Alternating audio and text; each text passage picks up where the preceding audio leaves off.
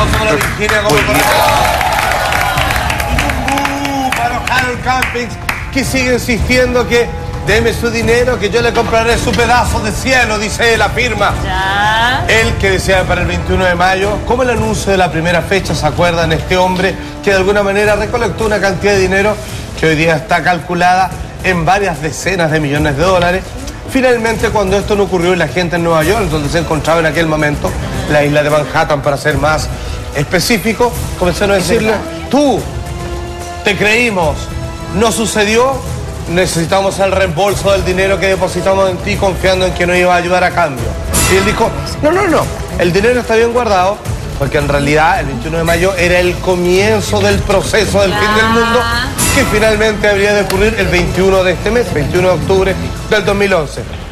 Por si es que alguien llegó tarde y no sabía de esto, la pregunta grande, y aquí es por qué hay que estar tranquilo, porque no hay que creer, pero ni una pizca de lo que este señor está diciendo, es porque la fecha a la que él llegó, a la que concluyó de por qué ese será el fin del mundo, era por la sencilla razón de un cálculo bastante extendido de fechas y citas colocadas en la Biblia, tanto en el Antiguo, vale decir, el Pentateuco, los cinco libros principales del Antiguo Testamento, con el Nuevo Testamento que está principiado por el Redentor, el Hijo de Dios, Jesucristo, y que termina en el libro de Revelaciones, también conocido como el libro del Apocalipsis. Pues bien, él sumó todo basándose, ojo con esto, este es el dato que usted no tiene que pescar, que es que Cristo fue crucificado un 13 de abril del año 33, que era la edad que tenía en aquel momento, y de ahí comienza a hacer una serie de ecuaciones y que todo sumado y llegando hasta nuestros tiempos.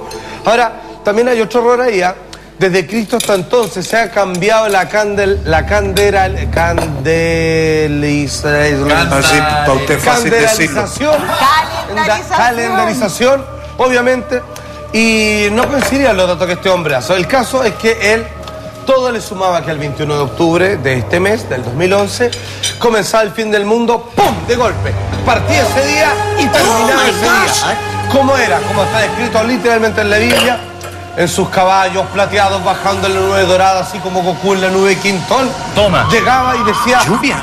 tú, tú, tú, tú, tú, tú, tú, se salvaron porque son buena gente, todos los demás sigan participando. Discriminando. Y Oh, Sada. Yo nos preguntaba, ¿por qué dice él el 13 de abril, que fue cuando crucificaron a Cristo? ¿De dónde sacó ese dato? Ah, qué buena pregunta. Yo sé que a nuestro Señor Jesucristo lo crucificaron el 13 de abril del año 33, porque un día yo estaba en mi casa y él se me apareció y me lo dijo. Ahí se fue todas las pailas.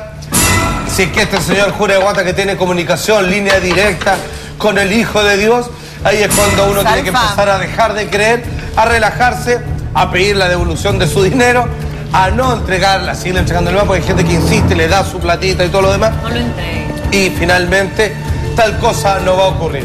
Igual tan perdido no está el señor porque. Semana Santa es en esa fecha, siempre se mueve entre finales de marzo y mediados de abril, Sí. que es cuando fue crucificado Jesús. Claro, pero él lo afirma, Puede haber él, lo- sido él lo un- da así como Sí, lo que se le apareció a Jesús, esa parte no se la creo, pero Perdón. de que fue alrededor del 13 de abril del año 33 No, es muy probable. Ojo, ojo, ¿no?